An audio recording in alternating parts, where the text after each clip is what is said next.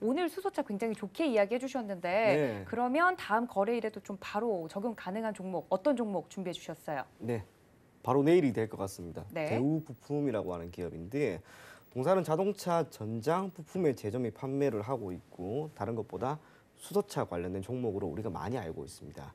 이러한 상황에서 대우 부품이 제가 조금 전에 풍국 주정에 대한 이야기를 하면서 설명해 드렸던 것처럼 장 후반 주가의 급등이 크게 나왔던 종목 그 중에 하나가 이 대우 부품인데 대우 부품 같은 경우 분봉을 보게 되면 조금 전 풍국 주정과 동일하죠.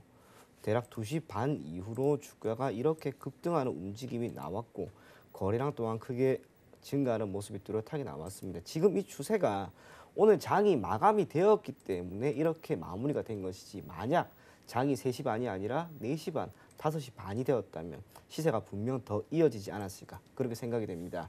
그래서 대우 부품 같은 경우 여러분들이 중기나 장기적인 관점보다는 단기적으로 정확하게 가격을 측, 가격적인 측면에서는 2,535원이라고 하는 가격대까지는 무난하게가 무난하게 돌파는 될 겁니다. 그게 수익률로 치면 얼마 안 된다 하더라도 철저하게 단기 어, 단기적인 관점에서는 반드시 도달하지 않을까 그렇게 생각이 되는 만큼 이 종목을 여러분들이 한번 눈여겨 보실 것을 보내드리고요.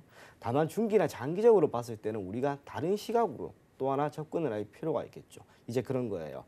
대우부품 같은 경우에는 우선은 거래소에 상장이 되어 있는 종목인데 최근에 주가 흐름 보게 되면 3월 19일 1285원 그리고 최근에 주가 고점이 약 2600원입니다. 동기간 중에 거래소 시장 상승률이 약 40% 정도가 되었다라고 하면 이- 지금 이 종목은 두 배입니다. 이걸 가지고 우리가 시장보다 아 민감하게 움직이고 있는 종목이구나. 그러니까 시장이 개선될 것으로 기대가 되면 당연히 시장보다 민감하게 움직이는 종목이 여러분들의 여러분들의 자산 증식에 반드시 도움이 될 겁니다. 구체적으로는 우리가 베타 개수라고 하는 표현을 쓰죠. 지금 시점에서 베타 개수를 구하면 대략 2.5까지 나올 거예요. 매우 높은 수치입니다. 물론 최근에 시장이 상승하는 가운데 베타 개수가 이렇게 높게 나오는 종목들이 매우 많습니다. 그 중에 하나가 이 대우 부품인 만큼 여러분들이 장기적인 관점에서 시장 개선에 조금 더 베팅을 한다면 아무래도 좋은 결과가 나오지 않을까 그렇게 생각이 되고요.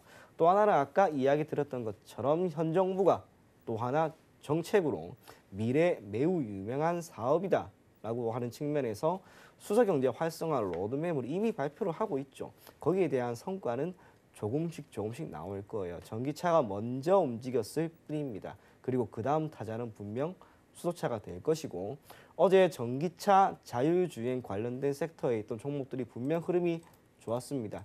수소차는 별개가 아닙니다. 함께입니다. 그렇기 때문에 시차를 두고 아무래도 이 대우 부품이 단기적으로 움직이지 않을까 그렇게 생각이 되는 만큼 여러분들 당장 내일 이 종목 한번 눈여겨 보실 것을 권해드리겠고요. 목표 가격은 제가 우선 짧게 드리겠습니다. 2,650원입니다. 하지만 이 가격을 돌파하게 되면은 지난 9월 25일에 기록한 대략 2,920원대 저는 이 가격대 또한 돌파하지 않을까 그렇게 생각이 돼요. 그래서 장기적으로 본다면 약 3,500원에서 4,000원까지 여러분들이 보실 것을 권해 드리겠고요.